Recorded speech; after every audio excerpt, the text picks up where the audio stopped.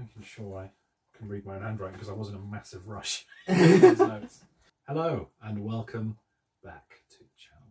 We are in a double recording, well, four videos. Yeah, yeah. Back to back to back to back. Um, this is part three of that, but part one of the Cardigans. Yeah. An Um, interesting band. Yeah, I mean, I guess again, what did you know of the Cardigans before going into They're this? one of those bands that I heard on the radio and I managed to join up the dots and establish that I knew a few songs by Mhm. a band. And I was Mhm. like, you know what? I'm going to show some of these songs to Tom. And I showed one or two. I can't remember which ones. I definitely showed you You're the Storm. You're the Storm, yeah. Um, maybe Erase Rewind. Yeah, I think and I showed Yeah. you Erase Rewind. Yeah. And um, so when we came to establishing which artists we should do, I was like, I did my research this time and checked how many albums there were, and I was like, hey, the Cardigans is a short discography. Let's do it. And I thought it'd be really fun. Uh, and it's I, I think it was it was a fun discography to do. So I'm I'm quite happy to be here.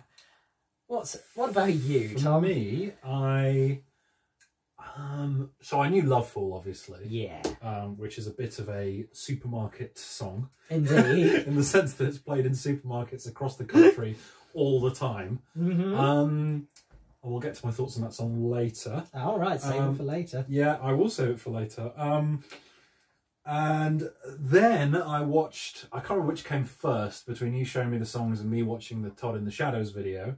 He has a really great video on uh, he has a series called um, One Hit Wonderland, uh, where he looks at an artist that was a one hit wonder and looks back at their catalogue and how did they get to that point, what came after, what was why was it that song, etc. Very cool series. I'd recommend it if you haven't watched it. I assume most people have.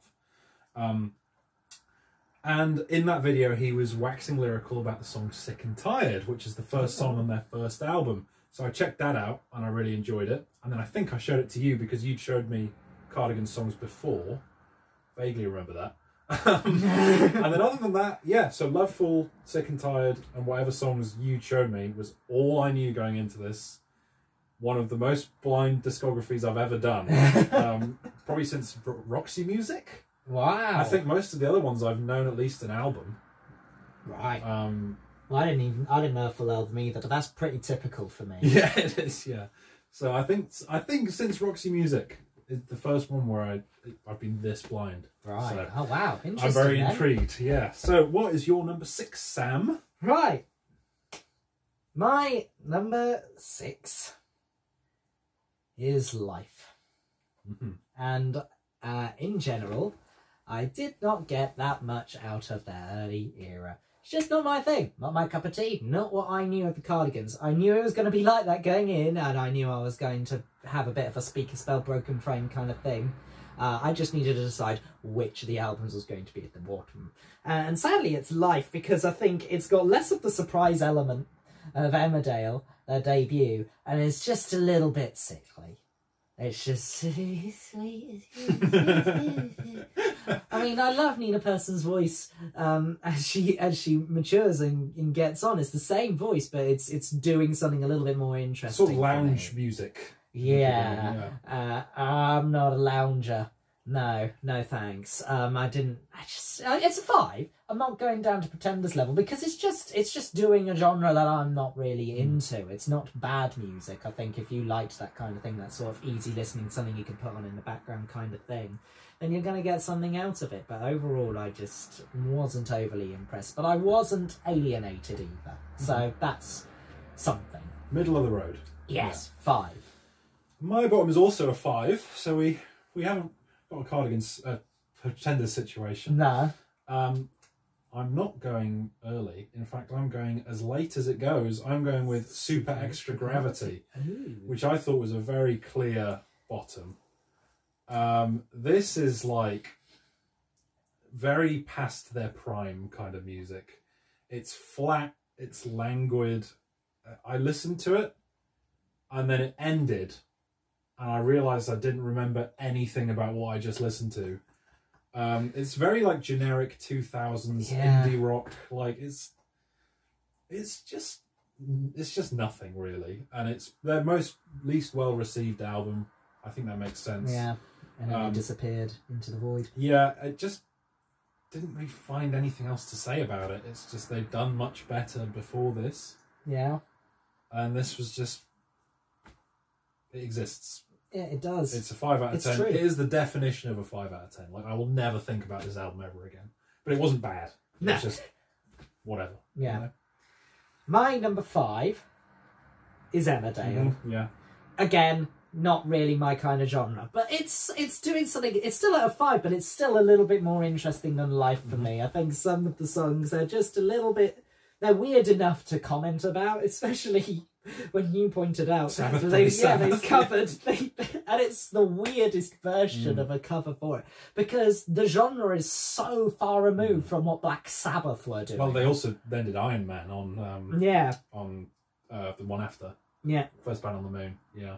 Yeah, so there's something very peculiar going on, and overall, that's why it's it, it it beat life. But I knew the easy listening stuff was going to go to the bottom, just because it's just not my cup of tea. Um, but yeah, I mean, I saved a few songs uh, in the afternoon after a cloudy sky. Um, our space, rise and shine. I did save Sabbath, bloody Sabbath, and I think I It's just very cool that version. yeah. Yeah. And I saved last song, I think, because the last song's called Last Song, and it, it made me laugh. What a great review for the song. Um, no, it was still a good song. I wouldn't have actually done it for that reason. It was all right, but overall, just not not some not a genre, not a part of the Cardigans I'm going to return to. Okay, my number five. Not too far away on this one. My number five is Life, the second album, but I'm not going to be talking about Emmerdale for quite a while. Um, Life, though, I do think definitely suffers from being Emmerdale 2. Yes. It's not doing anything new, um, and it's considered their best album by a lot of people. I just don't get it. I think Carnival is a great opener, and in general, their openers are really, really good. yeah. Um, Carnival is great. It's got these great funky guitars. It's got these big lush strings. I was like, oh yeah, this is going to be more of the same. I was, oh, this is going to be more of the same, but not as good. Um, the songwriting is nowhere near as good as on Emmerdale. Um, not bad. One great song, a couple other solid ones like Tomorrow, um, but it's yeah. I just think that they have much better to offer, and, and from here on out, I'm going to enjoy these albums. But Life was just a bit. I like Super Extra Gravity. It wasn't really offering anything new, and if it wasn't for Carnival, it would be a five. But that is, we'll find out where it lands on the songs video. I love that song, so it gets a six, a low six. right, interesting. I am going up to a six with my number four.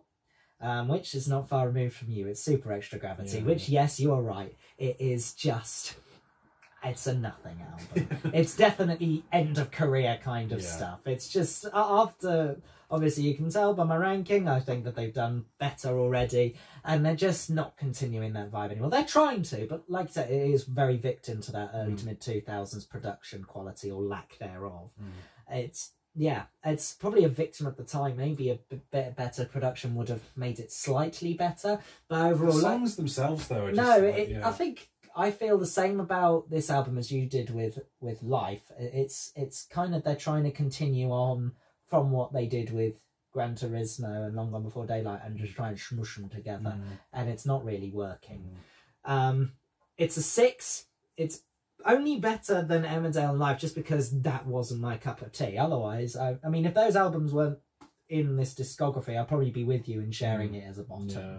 Um, it's a six just because it's more it's more tailoring to Sam than the um, the other two albums there. I guess what we should mention as well is that they are a band that were never, you know, they were never content to stick with the same sound, No, which is, I think, why those two are at the bottom for me because those are their most sort of safe, yes, like, repetitive albums. repetitive albums. So, yeah. Um. So, like I said, top four. I enjoy all of these. So, this might upset you, but my number four is "Long Gone Before Daylight," um, which I have as a seven, and the gulf between this and Life is quite large.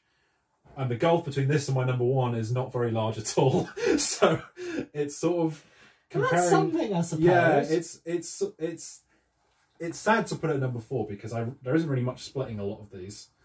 Um, but I, again, communication continues the trend. great opener, It so good. opener. And it's after a lengthy absence. They've been inactive for five years. Um, I think Nina Pearson had been doing some solo stuff and some more acoustic stuff, which is reflected in the sound of the album because you get a lot more mellow acoustic guitars than Gran Turismo, which was a bit sort of bombastic at times, you know. It Um, was. Uh, yeah, and I really think this is one of their best guitar albums. I think the guitars, especially from like the third album on, the guitar is a big emphasis in their sound. And Mhm. I wasn't expecting that. I was expecting it to be the Nina, Nina Pearson show.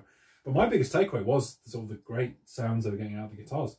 Um, I, I'm actually not that big on You're the Storm. Um, I love the verses, and I just think the chorus is a bit underwhelming for me. It's trying to be bigger than it is. Yeah, it's not. I'm not big on that one, but the other single, for what it's worth, I really, really like. I really like the guitars on that one as well. Um, it's a step away from the more rock-based sounds of the previous two albums, back in something a bit more mellow and, and loungy. Not quite like the first two albums. No. It's a bit more laid back. Um, yeah, it's not my favourite, but I would listen to it again. I enjoy it. Seven out of ten for Long Gone Before Daylight. It's a good album. I would listen to it again. Cool, cool. We're coming into metal territory now. Already? I know. Well, what a, what a day we're having together. A quick discography. yeah, I know, right? Uh, my bronze medal, um, which I have predicted to be your number one. Now I'm not so sure. Um, it's first band on the moon. We've synced up, baby. Ah, all right, interesting. Okay, so first band on the moon. With basically, this is where I join the chat when it comes to the Cardigans. Um, I am going to say that I think Lovefool is okay, but kind of overrated. I think overall the sound is really fun, and I saved a lot of songs from the album, like New- Your New Cuckoo, Bean It, Heartbreaker, Never Recover, Step on Me, obviously Love for Stay, Iron Man. Interesting that's a cover. Did not did not detect Did you not it. recognise it? Oh, it's one of the most famous Sabbath songs. I yeah. don't know Black Sabbath Yeah, at all. it's just one of those songs that is in the public consciousness. though I, I figured that you might know. That's interesting. Uh, Maybe we'll listen to the original later on. Just Maybe, and maybe that'll refresh my memory. But there, then there's Great Divide and Choke that I saved as well. Mhm. Um, ultimately, I I think that the first two albums that I've got, my top two, they're doing something a lot more interesting, and they they're kind of they stand on their own two feet as albums. They're both very different. Obviously, you've Mm. probably worked out what I've got in my in my top two now, but it's they're very different sounds. And then I think that the first band on the moon is where they're first starting to step into this territory after doing Emmerdale and Life, and really they're they're shifting their identity totally Massively, from that. yeah. So I'm kind of seeing this as like the debut from the Cardigans that I know and love. Mhm. And I'm thinking this is a really good stepping stone into what they soon become. Mhm. Uh, and I think it, it's it's got merit for that reason. And that's pretty much all I've got to say about it. Seven? It's- yeah, it's uh, no, uh, yeah, still a seven. Yep. So I also have First Band on the Moon at Yep. number three. Also a seven. Um, it is their most. Well, maybe maybe you could argue for Gran Turismo as well, but their most '90s album. It's very '90s rock, and it's quite the left turn from the first two albums. It's quite danceable. It's got quite a, a Yeah. few nice grooves, especially on the opening track, "Your New Cuckoo." Um, I think Bean It, as you like to say, takes the baton well. Um, I actually, I actually like Love Love Fool quite a bit. Um, it's actually grown on me over time. All right. Um, because obviously it's like one of the songs that everybody knows, and then you're just like sick of it. yeah. But um, yeah, it's just it's a nice chorus and like Yeah. oh, it's nice. Um, I also think it's quite different to the rest of the album. It's sort of like a cheesy pop song, and the rest of the album's more rock based. I think. Hmm. I also love the song that comes straight after it, "Losers." Really powerful chorus. Yeah, I did save that one too. Yeah. Um, Explicit according to Spotify. and then yeah, in terms of their sorry, in terms of the Cardigans covers of Black Sabbath, Iron Man I think is a step below Sabbath Bloody Sabbath. Um, but you know, it's it's okay. Um, it's kind of charming that they were doing that. It's like, what's the cover we could do that'd be the most different to our sound? Um, so yeah, it's pretty good, fun '90s album. Not the most consistent album. I think the top two beat it on that, but the the highs are really high. yeah. So um, it gets a seven. It's my last seven. So- Right. We do have one last chance at a sync up. And I'm very surprised that it's made it that high in your list. Mhm. I was really not expecting you to get anything out. I wasn't expecting you to get anything out of it. either. Really? Yeah. My silver medal goes to Gran Turismo. and we've synced up again. oh my god! oh my god! You got Emmerdale as Yeah, number I one. do, I do. I'll explain it. Yeah, good. no, I don't. I'm, I'm, I'm shocked. uh, Gran Turismo is very um, heavy kind of rock in terms of the. That's why I think you wouldn't like it. No, but my favourite songs that have come, that I knew before going in have come from Gran Turismo. Mm, so I was always kind already kind of acquainted with the sounds and what I was going to encounter along the way. Um, but I actually got quite a lot out of the album, and I got a few new discoveries as well. I mean, obviously, you know, I like Erase and Rewind, are my favourite game, Mhm. um, but I also really liked Paralyzed, Higher, Mhm. and Do You Believe. Those are the three really good ones that I learnt from the album.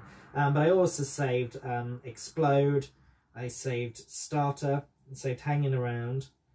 I really enjoyed the album, and I'm I'm pleasantly surprised that you've got it as high as Mhm. well. Because I did not think I thought, oh, this is not going to be a Tom sound. So is that an eight for you? It is an eight. It's also an eight for me. oh right, Um, I mean, I'm currently doing a deep dive into 1998, right. so this was good ammunition. Good, it make yeah. my top 25? Who knows? Um, Exciting. There's yeah, you. I think this is this does make sense that I like it because I love 90s music, and I think this is the most interesting blend of sounds because you've got the heavy rock, you've got the, the electronic stuff that was really new for them, like the Yeah. the, the yeah, um, and the sort of the trip hop influence from bands like Portishead and Massive Attack and stuff like that. Um, it's definitely their moodiest album, most atmospheric album, um, which works for me. Um, and then it, it has bangers on it as well, like Erase Rewind and My Favourite Game, uh, especially the latter. Really like those. Um, and yeah, it's very unique within their discography. Um, and yeah, it's sort of got a mix of like good pop songs, but weird stuff as well, which I always like. Yes, of course. Yeah. So So yeah, you've worked out now. mhm, we it's funny that we've synced up on two and three because our number ones were not ranking No, too high for each other. opposite. Yeah. Yeah. I guess it does kind of make sense that you liked Emmerdale, and you probably think it makes sense that I like Long Gone Before Mhm. Daylight. That's my number one. I've given it a nine. Um, originally, when I first put my list together, I had Gran Turismo at number one, Mm, and. I had Long Gone Before Daylight at number two. Mhm. Um, because Long Gone Before Daylight has a very specific mood. Yeah. It's very deep. It's quite introspective, um, and it's covering heavy subject matter. Mm. And when I first listened to it, I really wasn't in that frame of mind. And then I came back to some of the songs, trying to work out my songs list. And I guess I was in more in that kind of deep, pensive frame of mind, um, because oh my god, I think that Long Gone Before Daylight is poetry. Mm. I think that it's it feels very emotional and very raw, um, and yet it's also very layered at the same time. And I I'm glad that you commended at least the guitar on the album because I think it's very moody. I enjoyed the album. Like I said, the gap The between gap, one yeah. and four is not big. Like And I just, when I was listening to those heavy hitters, I was thinking, oh my god.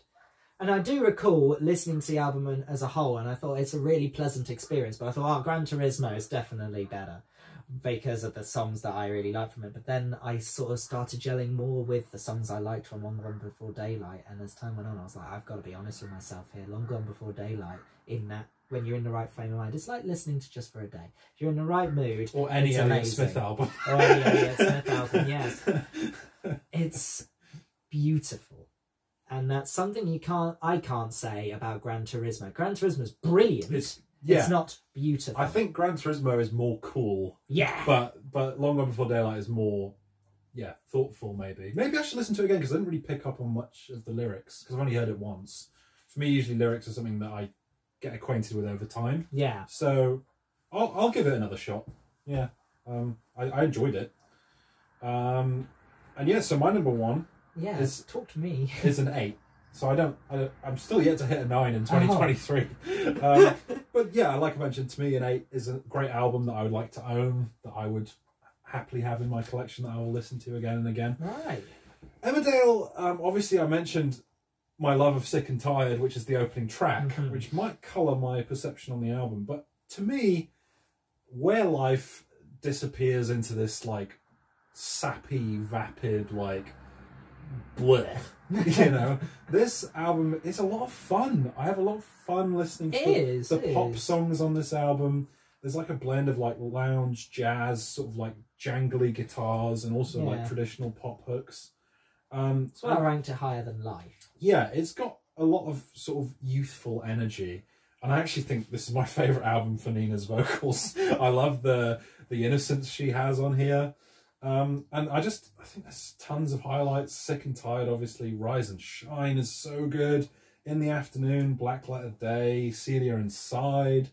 It just flows nicely. It's easy breezy, you know, it but it isn't it doesn't feel vapid like life does at times. It, it the songs impact me and stick with me and get stuck in my head.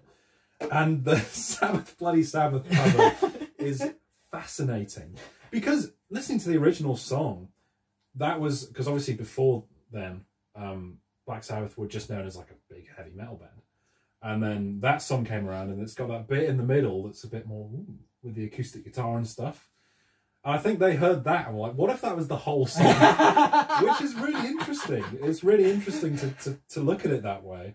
And I love the original. It's probably my favourite Black Sabbath song. So if this was bad, it could have tanked the entire album. Like I saw that track on tracks, I thought, oh god, that's gonna suck. but it's actually I actually enjoy it quite a lot. Um, yeah, as a debut goes, it's a lot better than I expected. It's just stuck with me. It's catchy. It's fun. It's easy to listen to without being like nothing like my bottom two were. Um, and yeah, I, I enjoyed the Cardigans. I didn't love them, but I enjoyed them. It was fun. It was Yeah. nice. oh, good. I'm glad we got something out of Yeah, that. your dog enjoyed the Cardigans. Yeah, well. no, e- even the small dog loves that. yeah. So um, to conclude, different lists, but that's that Yeah. happens a lot with us. And yet, weirdly, very common ground near the top, just not at the very yeah, top.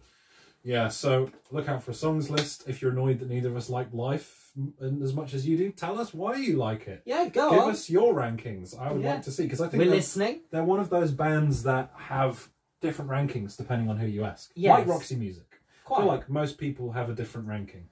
Because Um, the Cardigans, they changed a lot over, the, yeah, over their it's not like they have one album that everyone loves, and it's not like they have one album that everyone doesn't like. So it's sort of like, it could go anywhere. yeah, exactly. So thank you for watching, and look out for the songs video. Take care now.